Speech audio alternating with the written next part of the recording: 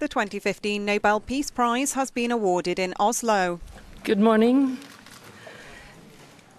The Norwegian Nobel Committee has decided that the Nobel Peace Prize for 2015 is to be awarded to the Tunisian National Dialogue Quartet for its decisive contribution to the building of a pluralistic democracy in Tunisia in the wake of the Jasmine Revolution of 2011. The quartet wins a $972,000 prize.